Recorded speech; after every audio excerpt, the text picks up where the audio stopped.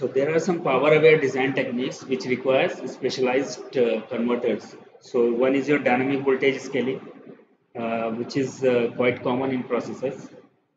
Uh, and uh, then dynamic frequency scaling and if you combine both it becomes DVFS. So DVFS is the most commonly used technique in processors where what you do depending upon the performance requirement you increase or decrease the voltage as well as frequency.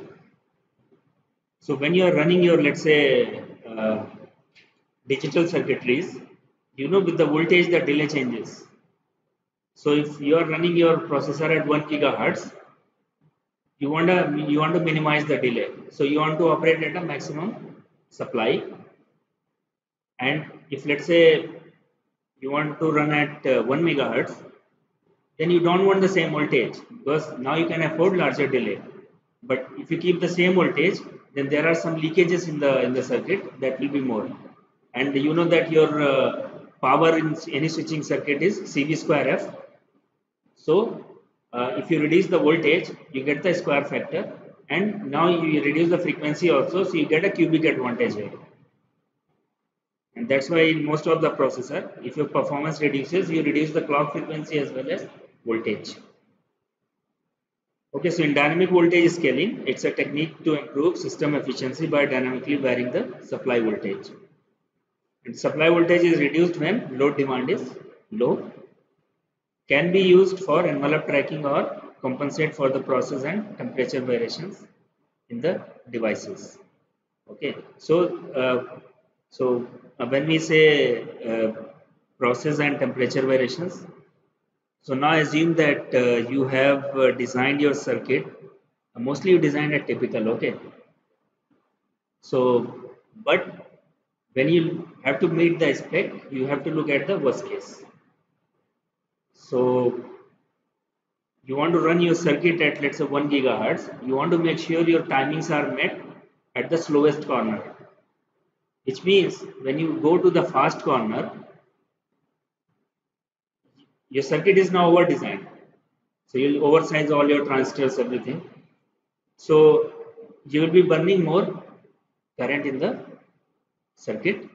And uh, so what you do basically in the dynamic voltage scaling, you design at a typical corner. And if you have a some way to and we I think we talked about this how you uh, track the PVT you can have a ring oscillator and based on that so let's say you are able to track the process and temperature that will give you the code once you have the information at what corner it is fabricated you can change the supply voltage. So if it is at the fast corner, you can reduce the supply a little bit to even to achieve the same delay or same timing. If it's uh, at a slowest corner, you can slightly increase the voltage so that uh, you don't need to oversize your transistors. So that's the advantage here with DVS. So one example of uh, DVS is class G amplifier. So you would have heard class H amplifier, oh sorry, uh, class D amplifier. There is a class H also we'll come to that. And you would have a class AB so in the class AB uh, what you have actually uh, so just like LDO you have a dropout voltage. So whatever the dropout voltage that will be a loss in your circuit so in the class AB you have a dropout voltage and that dropout voltage means whatever the overdrive you are using across these transistors it could be MOSFET also here it's a bipolar. So that is lost.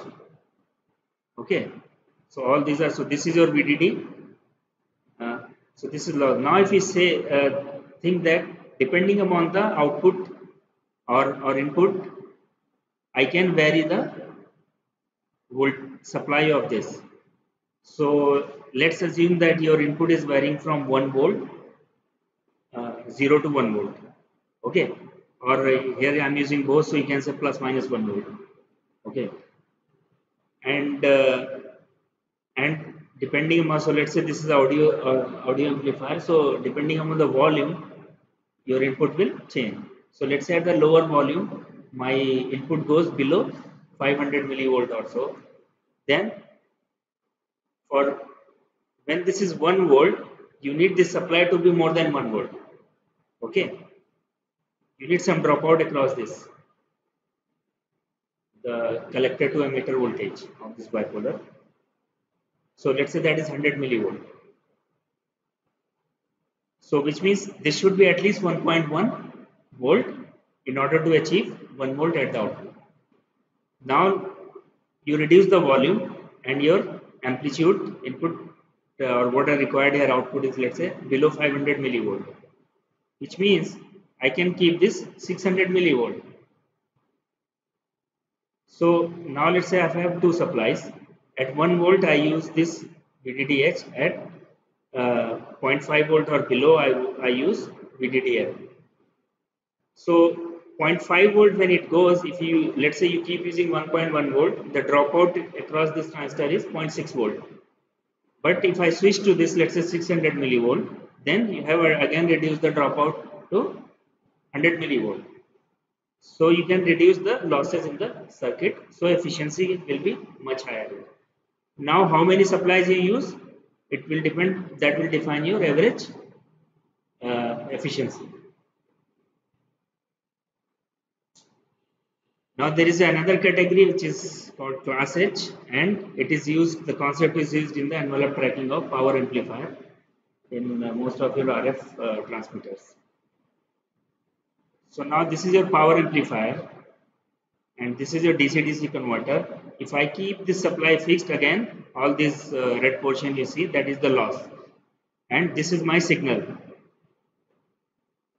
See if I track my supply with the signal like this and whatever dropout voltage you have defined it's 100 millivolt.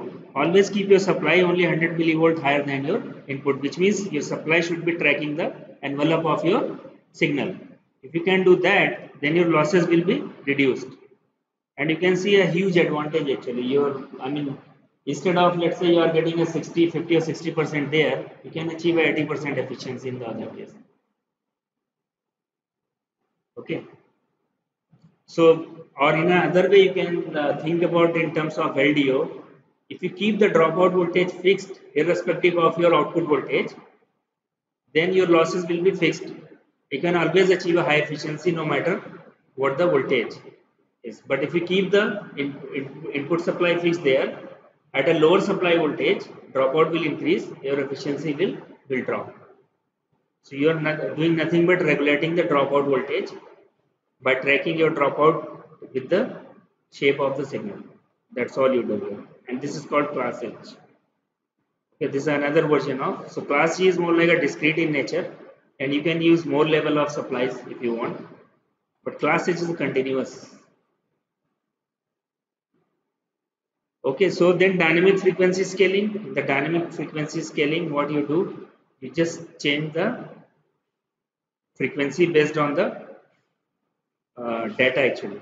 So if your data load is higher, you increase the frequency, data load load is less, you reduce the frequency. So dynamically keep changing and overall you can achieve a better system efficiency. And this is how it looks like.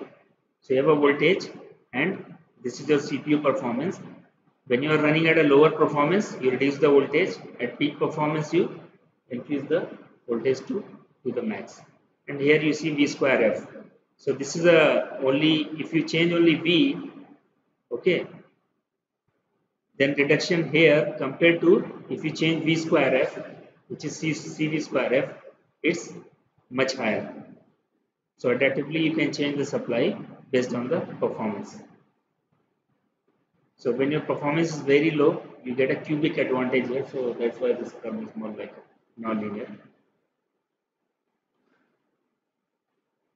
You can apply the same concept in high-speed serial link also, which are your CDRs, uh, like PLLs and uh, all your um, clock drivers, IOs, everything. So this is the energy per bit rate, which is the performance, defines the performance. So now you can see here, adaptive supply. Uh, so when your performance is basically uh, increasing here, what you do actually energy per bit if you don't vary the supply it will be much higher. The efficiency is measured in energy per bit here okay? But if you use adaptive supply you can see here your energy is per bit is uh, like much less compared to this one.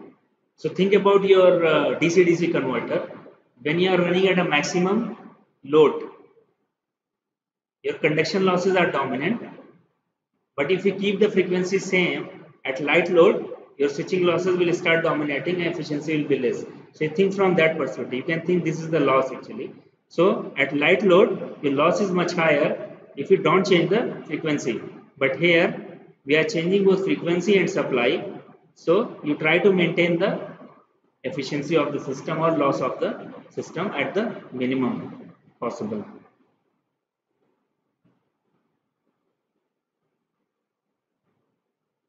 this is another thing uh, they use uh, like a multiple and based on the I think uh, it's, it's nothing but the muxing and uh, they try to change the number of these parallel basically transmitter they are using. So normalized power here again multiplexing factor they change. So so multiplexing factor they increase when they are operating at a higher uh, load and when the load changes reduces they reduce the multiplexing factor. So it's just like a, you can say they are using multiple phases, uh, just like we saw in the LDO, and you keep basically turning off the phases as your load reduces. So they are using the similar concept. Okay, then how do you generate that supply? So one uh, simple concept here shown in this. So if your that VDD is generated from DC-DC converter, what you can do, you can have a VCO in the feedback and have a reference clock.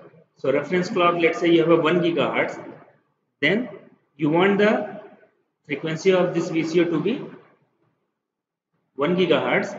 So your buck converter will force this control voltage, which is your supply, in such a manner that this frequency is 1 gigahertz okay.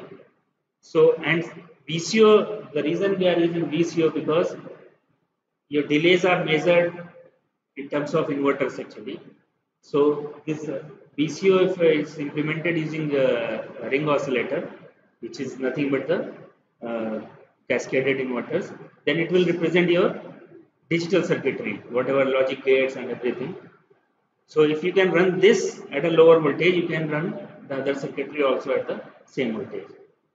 So it will uh, now if your process is changing, let's say it went to a slower corner, then this frequency will automatically go down and this loop will force this voltage to go high so that it is again locked at 1 gigahertz. So dropout voltage depending upon how you design it, you can sustain 50 millivolts then have a 50 millivolts. Usually this is the, I have shown a PMOS but these amplifiers have a both N and P, push and pull, okay. So it will have a source and sink both. Okay so you have to regulate the voltage of both. It's not not only one. But if you want to let's say only one side on the one side whatever the minimum voltage it goes you always keep your supply 100 millivolt higher than that. So what you will do actually your reference will become your signal plus 100 millivolt. So your Vref is that then it will always regulate your output to Vin plus 100 millivolt that's what you have to do and if you have a both side like this, then you may want to regulate. So you have a positive VDD plus VDD and minus VDD both. Then you have to regulate both, both and then you will have a separate regulator obviously for both of them. Single inductor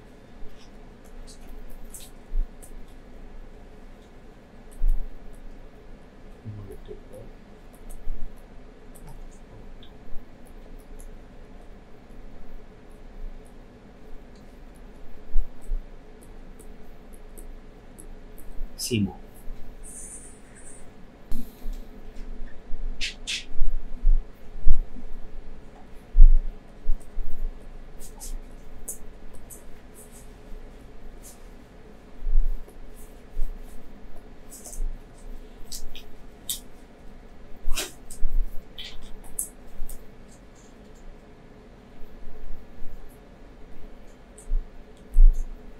if I want to generate two outputs from the single inductor. So what I can do?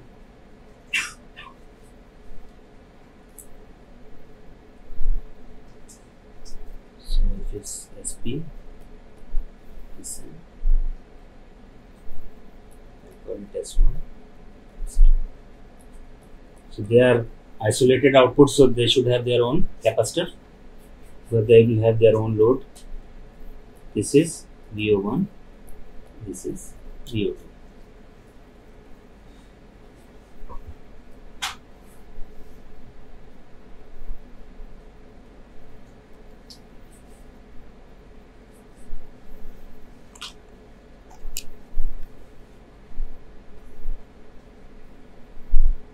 so let's say this is your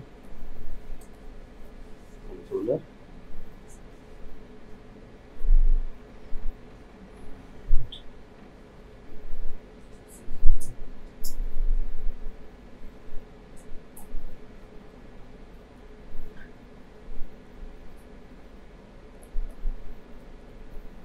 when I say controller, it has a compensator and PWM everything inside.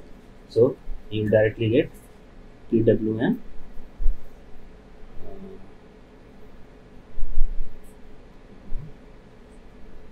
Sorry, this is two. PWM.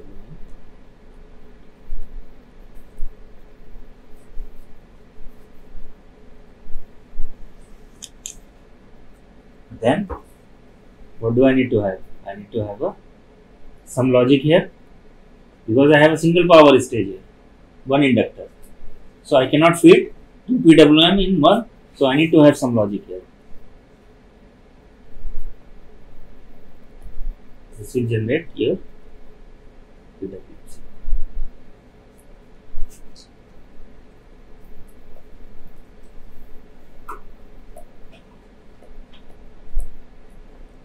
And this logic is nothing.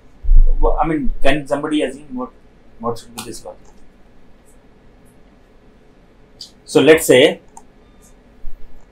what could be the so we are sharing the same inductor, which means we can share in time, time multiplexing. Okay. So for one cycle, let's say I am feeding one duty cycle. For another cycle, I am feeding another duty cycle. Correct.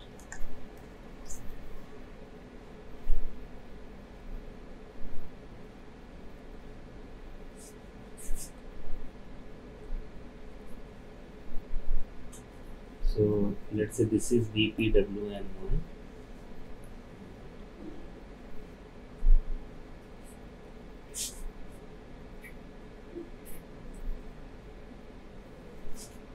This is VPWM2.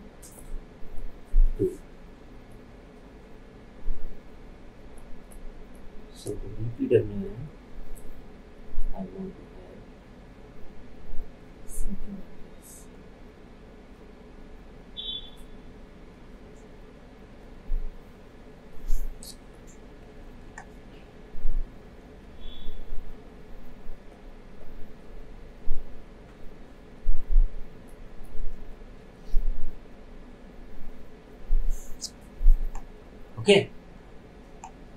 keep repeating this.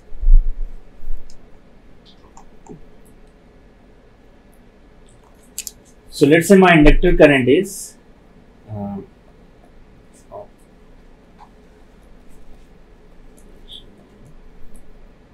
DC.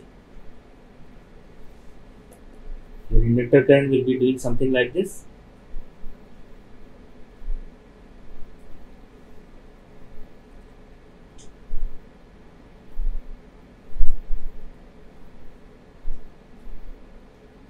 Okay.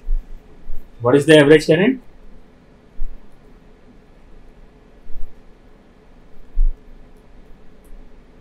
I load. I am doing nothing here huh, in between. Because during this time your inductor current is zero. So I can utilize this and deliver current to the other guy because inductor is resting during this time. So Can do like this.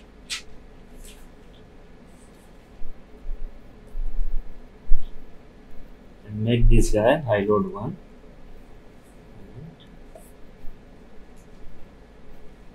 This will become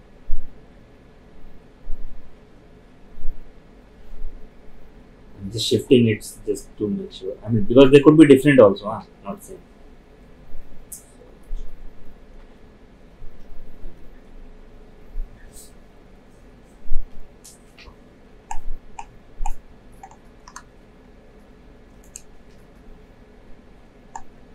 So, which means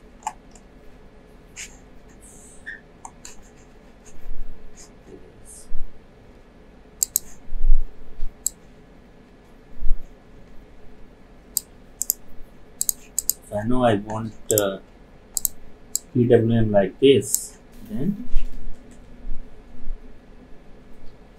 okay. So we have S1 and S2 switches.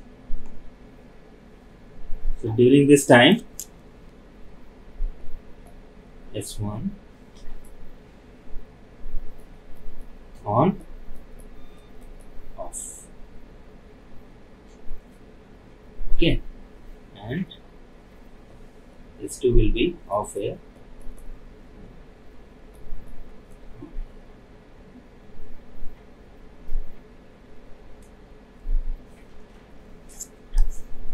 so depending upon how much time you have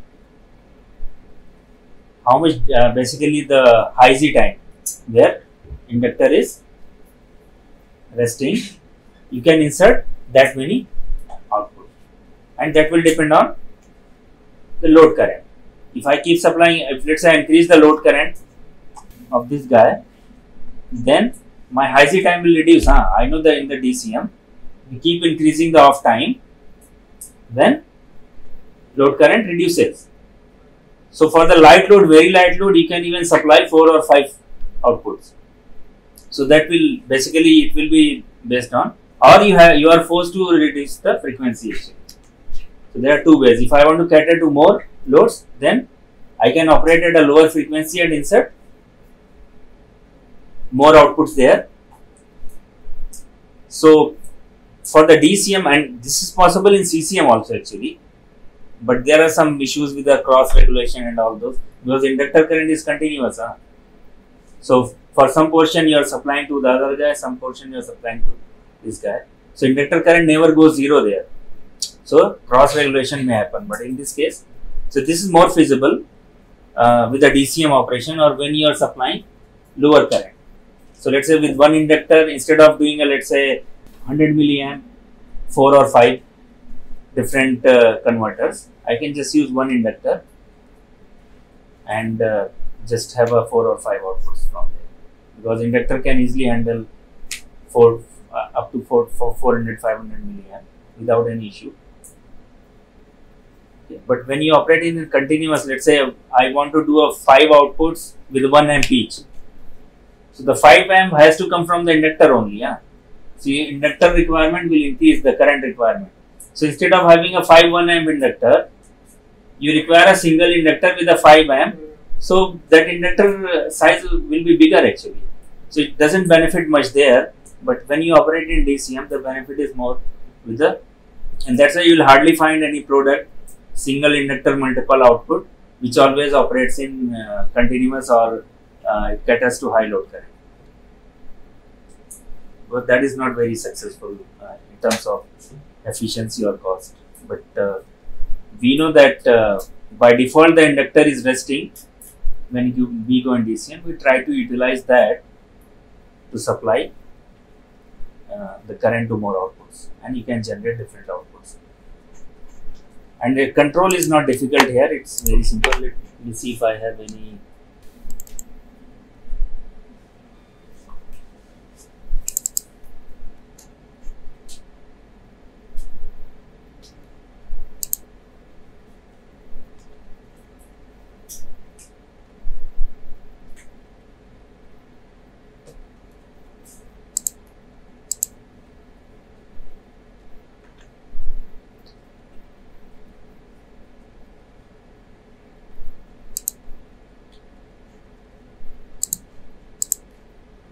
Okay. So it's a type 1 actually. You can see only integrator in the loop. And uh, those two switches are S1, S2 which I had in, in, in the notes. I have put a different uh, load current. Just to show you that it can uh, derive different load currents also and still regulate the output. So this is your uh, non-synchronous. Okay, because I have only diode at the bottom. The reason I have a non-synchronous, I don't need to build a control to turn on the bottom FET. So just to simplify the control loop, I just did uh, like this. And this is generating your control signal, mode 1 and mode 2. Uh, this guy actually, the switch control. S1, S2.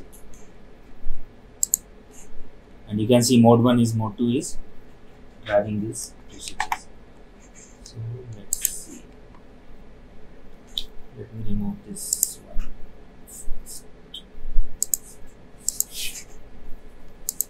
So 3.6 volt and uh, output I am regulating at um, 1.5 and 1.2.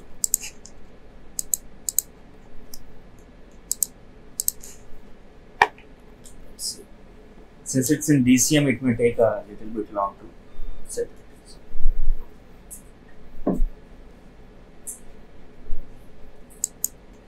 Let's see what the output is.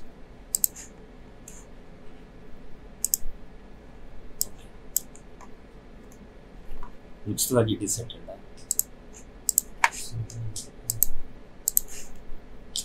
So by the way, there will be discontinuity and you're turning off the switch. So during the when the time during which the switches are off, the low uh, current will be supplied by the capacitor.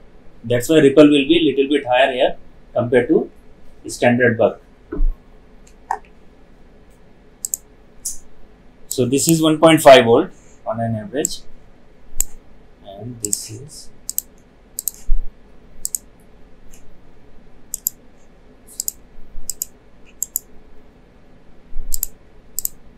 one point two volt.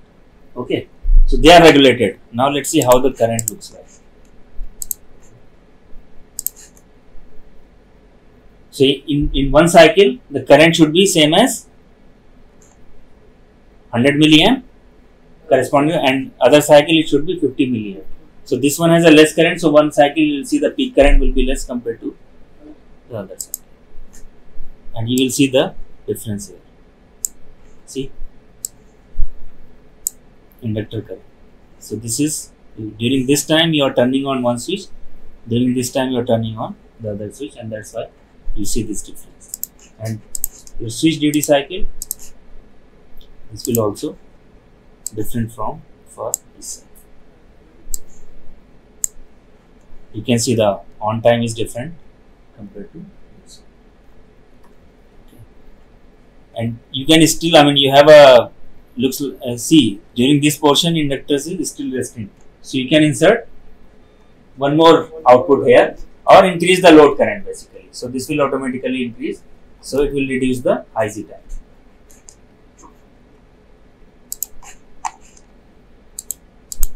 Okay. So this you can do with boost also. With boost is even simpler because you know the boost switch is at the output. So you just connect one more switch. In parallel you are done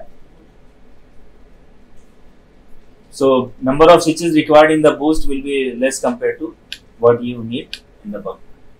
Here each output requires a switch.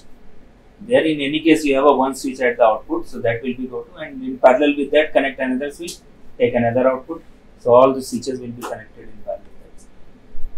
And one switch for the charging the inductor which connects the inductor to ground. That will be common to all. Okay. So for the boost, it will be like this. Let's see the boost.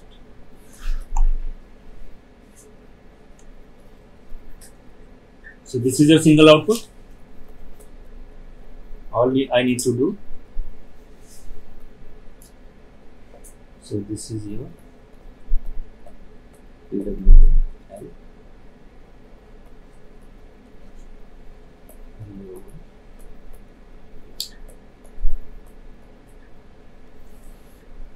That's it.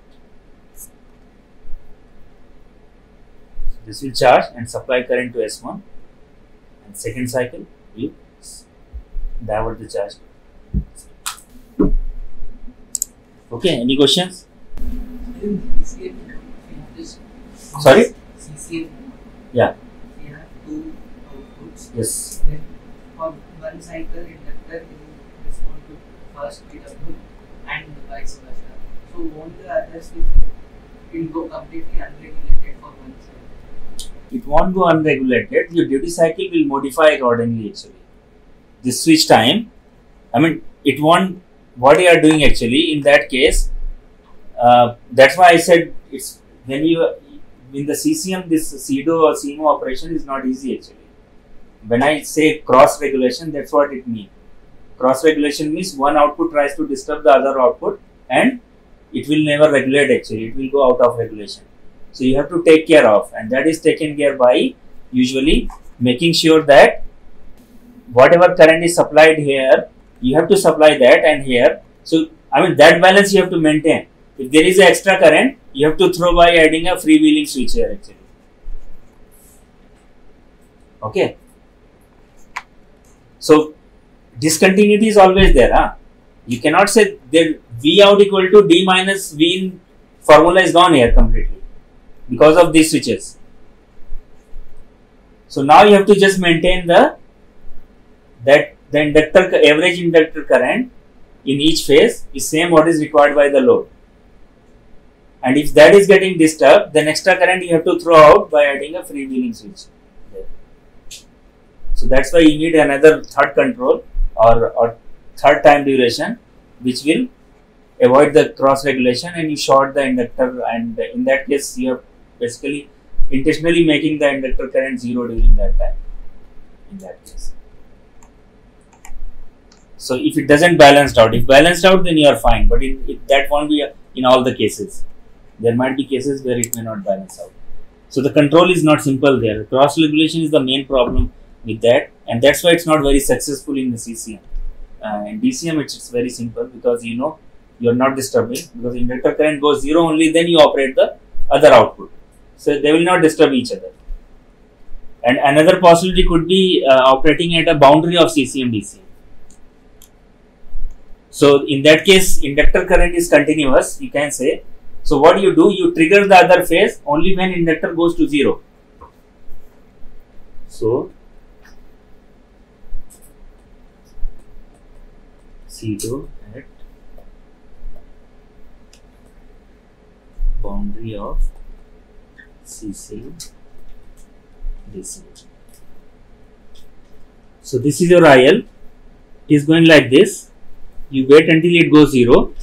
See this is zero, and that is some some load current peak depending upon the load.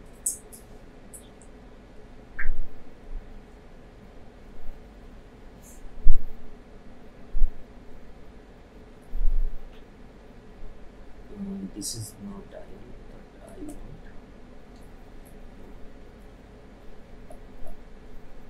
I load 2. See if I ensure that my I load 2 always starts when this goes to 0 and remains until here.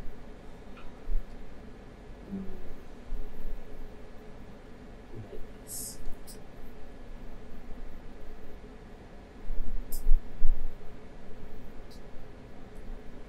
Now the inductor current will be simply I load 1 plus I load 2 so what you will see something like this. I mean, the shape may not be perfect, but you just get an idea that it will go to zero and it will be whatever the peak height. So there is there is no time during which you have a high Z region. So inductor is not resting. So as soon as inductor reaches zero, you trigger the other phase. But the problem with this is frequency will vary. Huh? When the load current changes, so the slope will basically, uh, I mean, when input output is changing, your slope will change. So it may reach uh, the zero point at different time. Okay, or if your load current changing, the same may also happen. Huh? So in order to maintain this continuity, you have to change the frequency. So if you are not concerned about the switching frequency, then it's fine and you can always keep inductor current continuous. Okay. So it's similar to like uh, you can say uh, controlled on time or like constant on time we were talking about. So as soon as it goes zero, you trigger the next phase and that will be coming from your control. Okay, the on time will be decided by your uh, V control. Say you are comparing a ramp with the V control that will generate the on time. So that on time will vary, but it will get uh, basically triggered always at a zero current information. That's it. And since this zero is current information will be different, I mean will be coming at different time depending upon input, output, and load current. So your on time will get adjusted according to that. That's it. So your frequency will vary. Okay.